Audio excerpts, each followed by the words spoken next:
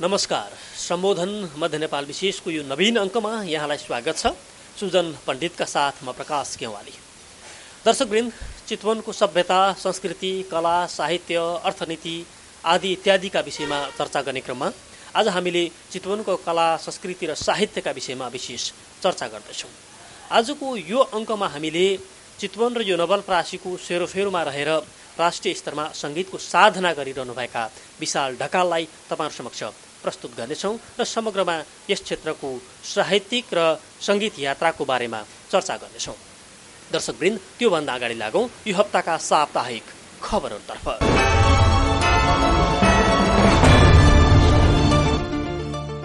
नेवार समुदायको महान पर्व एमोरी पुण्यको अवसरमा आबु खैरेनी नेवाखलले विविध कार्यक्रम गरी प्रथम एमोरी भोज सम्पन्न गरेको छ। तनहु नेवाखलका अध्यक्ष शंकर नारायण श्रेष्ठको प्रमुख आतिथ्य एवं आबु खैरेनी नेवाखलका अध्यक्ष पूजना श्रेष्ठको सभापतित्वमा सम्पन्न भएको उक्त कार्यक्रममा विभिन्न संघ संस्थाका प्रतिनिधि समाजसेवी संचारकर्मी एवं सुरक्षाकर्मीहरूको उपस्थिति रहेको थियो। कार्यक्रममा बोल्दै प्रमुख अतिथि श्रेष्ठले नेवारी भाषा संस्कृतिबाट नै नेपाली साहित्यको शुरूआत भएको जानकारी दिँदै नेवारी भाषा कला संस्कृति पर्वहरूको बारेमा नयाँ पिढ़ीलाई पनि सिकाउँदै जानुपर्ने बताए। उनले एमरी एक विशेष किसिमको रोटी हुने भएकोले जाडोमा शरीरलाई आवश्यक ताप र ऊर्जा दिने र चिसोबाट लाग्ने रोग निको हुने हुँदा स्वास्थ्यको लागि निकै फाइदाजनक रहेको जानकारी दिए। कार्यक्रममा नेवारी परिकारहरूको बारेमा जानकारी गराइनुका साथै भोज समेत गरिएको थियो।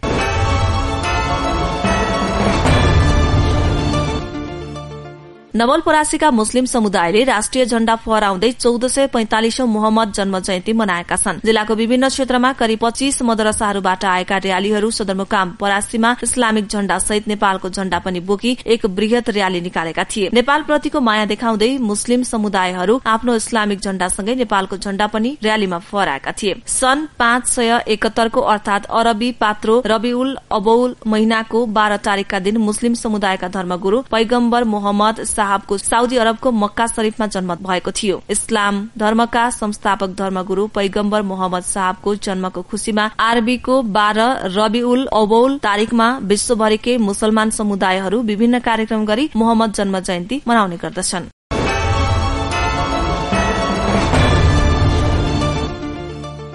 दर्शकवृन्द चितवन र यो नवलप्रासीको सेरोफेरो अथवा नारायणी सेरोफेरो जुन हिसाबले देशको मध्य भागमा छ र यसको महत्त्व राष्ट्रिय अन्तर्राष्ट्रिय रूपमा छ त्यसरी नै कला साहित्य र सङ्गीतको क्षेत्रमा पनि यो अग्रस्थानमा पर्दछ।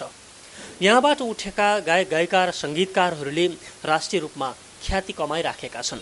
आज हामीले समग्रमा यस क्षेत्रको कला साहित्य र सङ्गीतको पाटो कस्तो छ त विशेष चर्चा गर्दैछौँ। प्रस्तुत छ सहकर्मी सुजन पण्डितले तयार पार्नुभएको यो विशेष रिपोर्ट अबको क्रममा। जब नारायणी उपत्यकाको रूपमा चितवन र आसपासको क्षेत्रमा बस्ती बस्यो सोही समयदेखि नै कला साहित्य र सभ्यताको पनि त्यस क्षेत्रमा शुरूआत भएको पाइन्छ।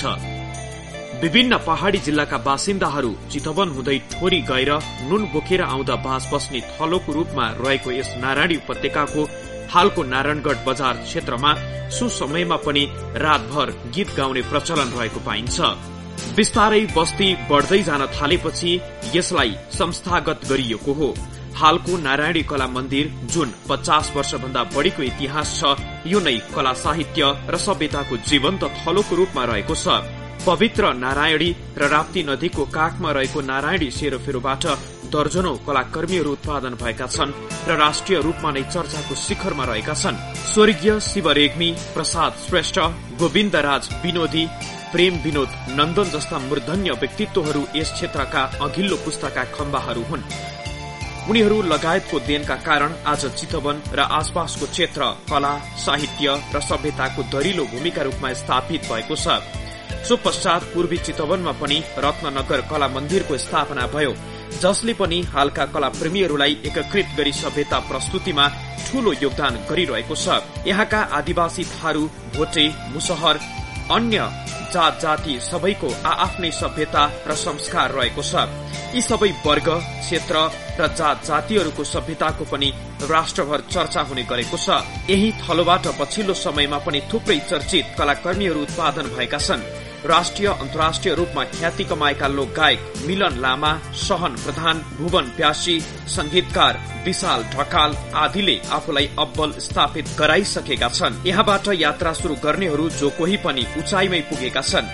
उनीहरूले स्थानीय कला साहित्य संस्कृति र सभ्यताको प्रवर्धन गरिरहेका छन्। नारायणी र आसपासकै क्षेत्रबारे रचेका छन् गाएका छन् र संगीत भरेका छन् जसका कारण यस क्षेत्रको चिनारी विश्वमाझ गराइरहेका छन्।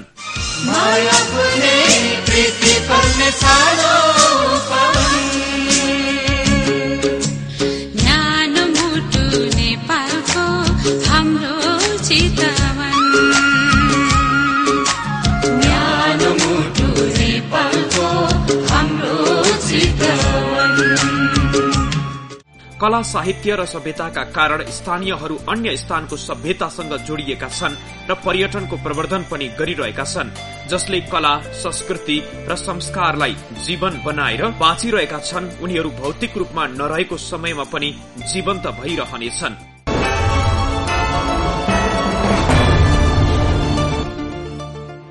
दर्शकवृन्द आज हामीले चितवन र यो आसपासको कला साहित्य संस्कृति र सभ्यताका विषयमा विशेष सामग्री यहाँहरू समक्ष प्रस्तुत गरिराखेका छौँ। र यो विषयमा अझ गहकिलो संवादका लागि हामीसँग हुनुहुन्छ निकै पुराना सङ्गीतकार जो स्थानीय स्तरमा आफ्नो प्राध्यापनको पेसालाई पनि शिक्षणको पेसालाई पनि सँगसँगै अगाडि बढाइरहनु भएको छ र स्थानीय स्तरको प्रवर्धनका लागि निकै कम्बर कसेर लागिरहनु भएको छ विशाल ढकाल। उहाँसँग हामी कुराकानी गर्दछौँ। यहाँलाई स्वागत छ हेपी न्युज टेलिभिजनमा। धेरै धेरै धन्यवाद। विशालजी तपाईँ र मेरो भेट धेरै समय अगाडिदेखि भएको छ तर आज यो पहिलोपटक हामी यसरी संवाद यहाँ समक्ष गर्न गइराखेका छौँ। खास गरी तपाईँले आफूले सङ्गीतकारका रूपमा आफूलाई उभ्याइरहँदाखेरि आफूलाई एकजना फेरि शिक्षालयसँग जोडिएको व्यक्तिका रूपमा पनि सँगसँगै तपाईँले अगाडि बढाइरहनु भएको छ। यो दुईवटा भूमिकालाई तपाईँले कसरी समय मिलाइरहनु भएको छ? यसको लागि चाहिँ मैले सबैभन्दा पहिला चाहिँ टाइमलाई म्यानेज गरेको छु। मेरो school hour ten to four हुन्छ। टेन टु फोर बाहेकको समयलाई चाहिँ मैले सङ्गीतमा भिज्ने गरेको सङ्गीतमा। र त्यसबाहेक पनि शनिबारका कुराहरू छन्। कहिले कहिले स्कुल छुट्टी भएका कुराहरू छन्। ती समयलाई चाहिँ पूर्ण रूपमा मैले चाहिँ सङ्गीतमय बनाउँछु र साङ्गीतिक खोजमूलक कुराहरूमा चाहिँ अगाडि बढाउँछु मैले। जस्तो तपाईँ सङ्गीतप्रति रुचि तपाईँको चाहिँ कसरी जाग्यो होइन? तपाईँको सुरुवाती चरणको अलिकति हाम्रा दर्शकहरूले थाहा पाउनु जरुरी पनि छ होइन? यस विषयमा बताइदिनुहोस् न। म सानैदेखि गाउँथेँ सबभन्दा पहिला। पछि गाउँदा गाउँदै मैले चाहिँ गीत रेकर्ड गर्नको लागि भनेर म काठमाडौँ पनि गएको थिएँ। तर कारणवश समय अनु समय अनुकूल नमिलेर मैले त्यतिखेर गीतहरू रेकर्ड गर्न पाइनँ। र पछि मैले बुझ्दै जाँदाखेरि त्यो त्यति राम्रो गीतहरूमा सङ्गीत भर्ने चाहिँ सङ्गीतकार हुनुहुँदो रहेछ। र किन मैले चाहिँ अब यो गाउने पेसा भन्दा सङ्गीत क सङ्गीतकारकै रूपमा चाहिँ अगाडि नबढ्ने किन मैले नयाँ नयाँ कम्पोजहरू के अरे आफूले बनाएर नयाँ नयाँ गायकहरूलाई वा अरू आउने गायक गायिकाहरूलाई चाहिँ प्रवर्धन नगर्ने भन्ने किसिमले चाहिँ मैले त्यो कुरा बुझेँ। त्यो कुरा बुझिसकेपछि मैले बिस्तारै चाहिँ आफ्नो गायन पेसालाई छोडेर सङ्गीत कम्पोज गर्नतर्फ अगाडि बढेँ। सुरुवातमा तपाईँ गीत गाउँछु भनेर अगाडि बढ्नु भएको थियो। तपाईँले गाउन त अहिले पनि गाउनुहुन्छ केही स्टेजमा गाउनुहुन्छ होइन तर रेकर्डेड चाहिँ तपाईँले गीत गर्नुभएको छैन। तपाईँलाई गाउँदा भन्दा सङ्गीत गर्दा मजा आयो? एकदमै। मैले किन भन्दाखेरि मेरो सङ्गीतमा अहिले नेपालका ख्यातिप्राप्त जति पनि रामकृष्ण ढकालदेखि लिएर अहिलेसम्मका जेनेरेसन जति पनि प्रख्यात गायकहरू हुनुहुन्छ गायिकाहरू हुनुहुन्छ उहाँहरूले सबैले मेरो कम्पोजमा गाउनुभएको छ। र उहाँहरूले मेरो कम्पोजमा गाइरहँदाखेरि मलाई एकदमै खुसी लाग्छ मलाई एकदमै आनन्द लाग्छ। जस्तो अलिकति बताइदिनुहोस् न हाम्रो दर्शकहरूका लागि तपाईँले पहिलो गीत कहिले कम्पोज गर्नुभएको थियो? मैले पहिलो गीत दुई हजार अन्ठाउन्न उन्साठीतिर कम्पोज गरेको थिएँ र जुन एकदमै चर्चित पनि भयो तपाईँले पनि सुन्नुभएको थियो पिरतीको नाउँमा सधैँ धोका खाइ हिँडेको मान्छेमा। त्यो चर्चित पनि भयो र त्यसले चाहिँ अवार्डहरू पनि जित्न सफल भयो। स्थानीय स्तरमा लेखिएका अथवा स्थानीय स्तरको प्रवर्धन गर्ने खालका गीतहरूको धेरै तपाईँले सङ्गीत गरेको हामीले पाएका छौँ। जस्तो गैडाकोट मौलाकालिका नारायणी नदी जङ्गल आदि इत्यादि होइन? यहाँको सेरोफेरोलाई तपाईँले समेट्नु भएको छ होइन? स्थानीयतालाई प्रवर्धन गर्न तपाईँलाई किन मन लाग्छ? किन भन्दाखेरि म जुन ठाउँमा बसेको छु त्यही ठाउँले मलाई चाहिँ के अरे हुर्कायो होइन? त्यही ठाउँले मलाई चाहिँ आज यहाँसम्म ल्यायो र त्यही सेरोफेरोले मलाई चाहिँ विशाल ढकाल भनेर चाहिँ वरिपरि सबैमा चिनायो र त्यो ठाउँलाई नै मैले बिर्सेँ भने र त्यो ठाउँको नै प्रवर्तन मैले गर्न सकिनँ भने मैले आजसम्म गरेको कार्यहरूको कुनै अर्थ रहँदैन र त्यो अर्थ नरहने हुनाले मैले चाहिँ मेरो प्र मेरो वरिपरिको सेरोफेरोको ठाउँले मैले चिनाउनुपर्छ। मैले मेरो ठाउँलाई चिनाएँ भने बल्ल मेरो ठाउँले चाहिँ मेरो यो सेरोफेरोले मलाई चाहिँ राष्ट्र रूपमा चाहिँ अगाडि बढाउन मलाई मद्दत पुऱ्याउँछ र मलाई चाहिँ एउटा चाहिँ आउने भविष्यमा चाहिँ विशाल ढकाल पनि यही गाउँको थियो है। विशाल ढकालले पनि यो गाउँको लागि केही योगदानहरू गरेको थियो भन्ने त्यो एउटा छाप राख्नको लागि मात्रै मैले यो प्रवर्धन गरेको खास। तपाईँलाई यो क्षेत्रको सभ्यता संस्कृति संस्कार हाम्रो जुन छ नि तपाईँको त्यसैलाई नै हामीले गीतमा सङ्गीतमा ढाल्ने त हो नि होइन? जे छ त्यसैलाई ढाल्ने हो भनेपछि तपाईँले आफूले के देख्नुहुन्छ भित्री मनले? हाम्रो वरिपरि हाम्रो समाजमा हाम्रो चितवन नवलप्रासीमा के छ जस्तो लाग्छ यहाँलाई? अब सर्व सर्वप्रथम त अब प्रकृतिले भरिएको हाम्रो ठाउँ होइन चितवन नवलपरासी। सायद विदेशबाट पनि थुप्रै पर्यटकहरू यहाँ घुम्न आउनुहुन्छ। चितवन र नवलपरासी होइन र चाहिँ यहाँ चाहिँ एकदमै यहाँका रमणीय दृश्यहरू यहाँ चाहिँ मनलाग्दो लोभलाग्दो हाम्रा अ, अ- अरू थुप्रै यस्ता कुराहरू छन् जसले चाहिँ पर्यटकहरूलाई मात्र नभइकन नेपालका विभिन्न कुनाका मानिसहरूलाई आकर्षित गरिरहेका छन्। गैँडाकोटको गीत गाउनुभयो के अरे गीतमा सङ्गीत गर्नुभयो होइन? त्यो गीतका बारेमा बताइदिनुहोस् न कसले लेख्नु भएको थियो कसरी त्यो चाहिँ तयार भएको थियो? हजुर अब म चाहिँ गैँडाकोटकै बासिन्दा भएको हुनाले गैँडाकोटलाई एउटा साङ्गीतिक परिचय दिउँ न। गैँडाकोटलाई साङ्गीतिक परिचय दियो भने कमसेकम यसले अब आउने धेरै पछिको समयमा पनि गैँडाकोट यस्तो थियो। होइन गैँडाकोटको के हजुर गैँडाकोट हजुर गैँडाकोट के हो? त्यतिखेरको रहन सहन के थियो? त्यतिखेरको चाहिँ सामाजिक अवस्था के थियो? अनि यसले चाहिँ अरू ठाउँलाई पनि कसरी प्रभावित पार्छ भनेर त्यहाँको चाहिँ एउटा सेरोफेरोलाई चाहिँ हामीले चाहिँ क्याप्चर गरेर त्यसलाई बनाएका थियौँ। र त्यसलाई चाहिँ गोविन्दराज विनोदीले लेख्नुभएको थियो। सोनु पौडेल जो गैँडाकोटकै हुनुहुन्थ्यो सरस्वती पराजुले गैँडाकोटकै हुनुहुन्थ्यो म सङ्गीतकार पनि गैँडाकोटकै थिएँ र त्यहाँ खेल्ने अधिकांश पात्रहरू पनि गैँडाकोटकै हुनुहुन्थ्यो। यो देशकै एउटा ऐतिहासिक स्थान मौलकालिका मन्दिर यो निकै रमणीय पनि छ त्यहाँ पुगेर हेर्दाखेरि होइन? यसका विषयमा तपाईँहरूले गीत तयार गरिसक्नु भएको छ यसको भिडियो तयार गर्ने क्रममा हुनुहुन्छ अहिले सायद होइन? यो मौलकालिकाका विषयमा जुन खालको गीत तयार भएको छ जाउँ जानै पर्छ एकपटक मैला मौलकालिका हेर्नै पर्छ दर्शन गर्नुपर्छ भन्ने होइन त्यो भाव जगाउन मान्छेलाई किन जरुरी छ गैँडाकोटका मौलकालिका विषयमा? यसमा चाहिँ कस्तो छ भन्दाखेरि अब यसमा सर्वप्रथम म चाहिँ अब गोविन्दराज विनोदीलाई धन्यवाद दिन चाहन्छु र मौलकालिका धार्मिक समिति मौलकालिकालाई म धेरै धेरै धन्यवाद दिन चाहन्छु। मलाई के मानेमा खुसी लाग्छ भन्दाखेरि एउटा ऐतिहासिक पर्यटकीय स्थल धार्मिक समिति मौलकालिका उहाँहरूले चाहिँ एउटा साङ्गीतिक हिसाबमा चाहिँ मौलकालिकालाई अझै प्रवर्धन गर्नुपर्छ भन्ने कुराले जुन एउटा चाहिँ हौसला मलाई दिनुभयो र त्यो गीतको सङ्गीत भर्न चाहिँ मलाई दिनुभयो त्यसलाई म उहाँहरूलाई धेरै धेरै धन्यवाद दिन चाहन्छु। जस्तो गीतमा सङ्गीत भर्ने क्रममा आहा कस्तो मिठो सङ्गीत भनेर हामीले भन्छौँ नि होइन? त्यो मिठो सङ्गीत चाहिँ कसरी तयार हुन्छ? होइन तपाईँको तरिका चाहिँ के हो? अलिकति बताइदिनुहोस् न। मैले चाहिँ यसलाई चाहिँ पहिले गीत मागेँ। गीत मागेर यसको कम्पोज गर्न मलाई लगभग लगभग सात आठ महिना लाग्यो। सात आठ महिना किन लाग्यो भन्दाखेरि अब सबैभन्दा पहिला त सङ्गीत मन छुने हुनु पऱ्यो जस्तो पाए त्यस्तै सङ्गीत गरेर नै भएन। किन त्यत्रो मौलाकालिका अब देशभरकै एउटा महत्त्वपूर्ण धार्मिक स्थल हो। र त्यसलाई चाहिँ अब चिन्न त सबैले चिनिसकेका छन् तर अझै पनि सङ्गीतले त्यसलाई तानौँ। सङ्गीतको चाहिँ जुन लय हुन्छ जस्तो टोन हुन्छ त्यो टोनले मान्छेलाई अझै आकर्षित गरौँ भनेर मैले त्यसलाई चाहिँ धेरै समय लगाएर त्यसलाई कम्पोज गरेँ। दर्शकका लागि एभिन्युज टेलिभिजन हेरेर अहिले बसिरहनु भएका हामीलाई देखिरहनु भएका दर्शकहरूका लागि पनि तपाईँको आवाज पनि हामी सुनाइदेऊ न गीत मार्फत पनि। मैले चाहिँ अब यो गीत सुनाउने क्रममा मैले पहिला मेरो आफ्नै गाउँको गीत एउटा सुनाउँछु सानो टुक्का। जसलाई गोविन्दराज विनोदले लेख्नुभएको छ। मौला काली मन्दिरको आँखै भारी छाया।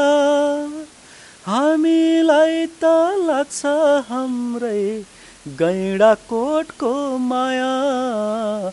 मौला काली मन्दिरको आँखै भारी छाया।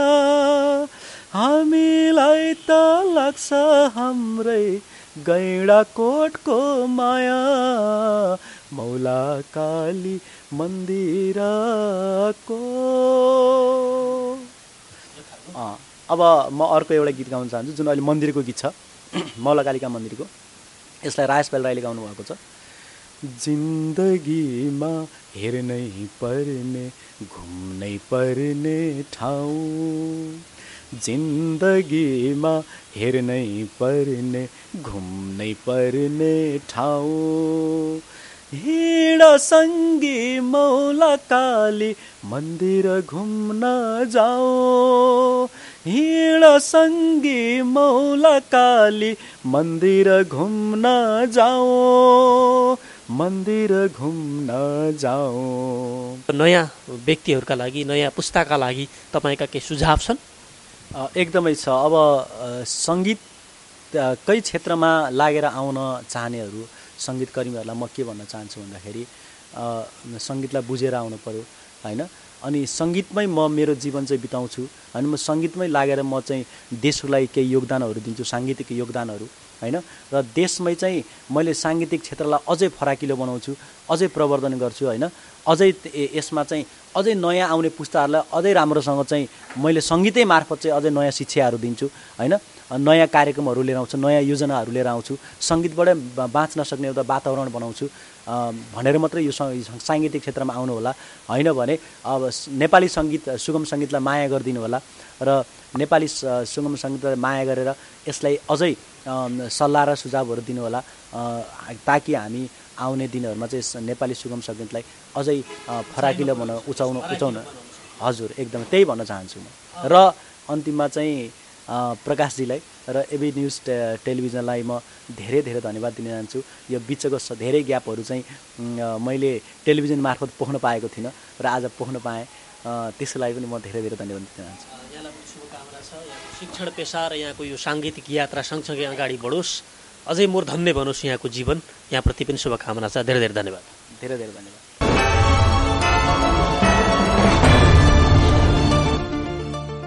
दर्शकवृन्द गीत सङ्गीतको साधना गर्ने व्यक्ति मूर्धन्य हुन्छन् र सधैँ मूर्धन्य रहिरहन्छन्।